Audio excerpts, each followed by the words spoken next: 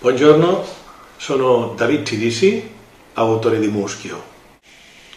Muschio.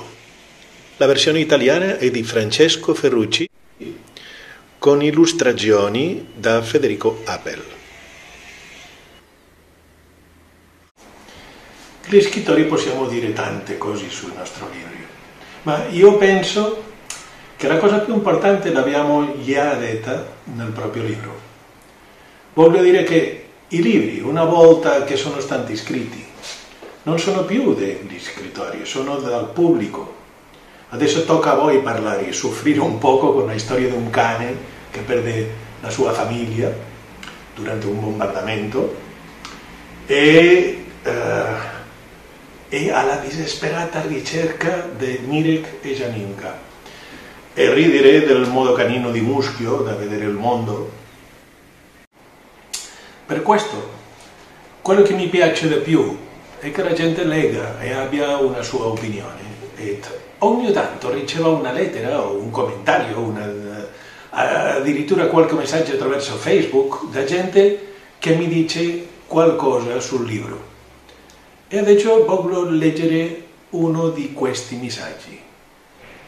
Dice così. Ho appena messo a letto mia figlia di sette anni.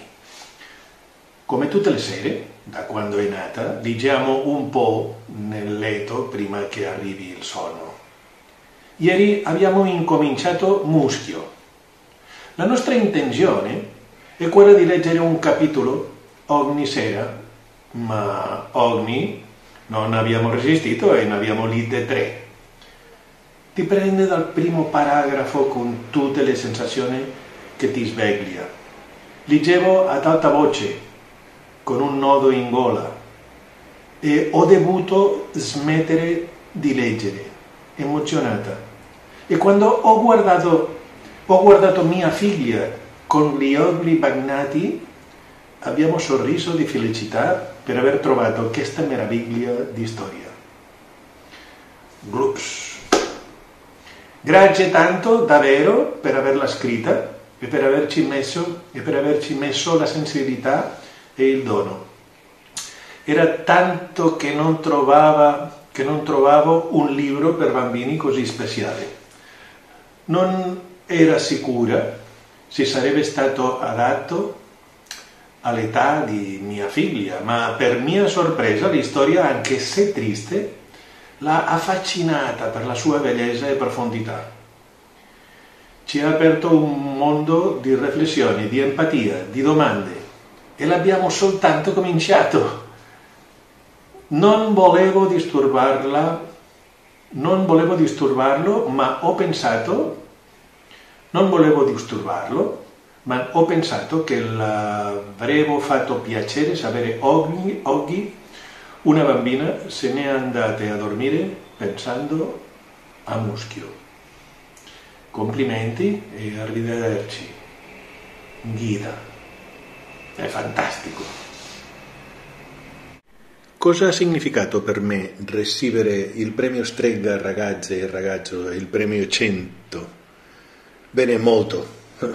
L'opportunità di visitare tante scuole italiane, la popolarità di un libro poi tradotto in tante altre lingue e l'onore di ricevere a Bologna la visita della ministra della cultura d'Italia, che aveva letto Muschio. Molsa è stata tradotta al turco, all'esloveno, coreano, cinese, italiano, con copertina rigida e copertina eh, morbida, olandese, tedesco e spagnolo. E eh, ha una novità, Musgo e la bestia, Molsa e la bestia. E ancora russo, Mosh, in questa edizione straordinaria. Muschio, cane nero dal pelo riccio e dal buon fiuto, non capisce la guerra, non sa chi la sta combattendo ni perché. Sa solo che un giorno la sua casa e i suoi bambini non ci sono più. Una bomba ha distrutto tutto in un secondo. Eppure l'odore dei bambini, che l'odore inconfondibile di soletico, di pozzanghere e di cintille, ogni tanto ricompare. E fra le mille avventure che si trova ad affrontare, prigioni, fughe, belve feroce e uomini ancora più feroci, non si dà mai per vinto. Certo che riuscirà a ritrovarli.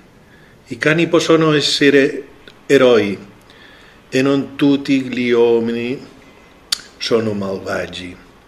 Muschio è un cane semplice, ma conosce la speranza. Quella è la sua storia.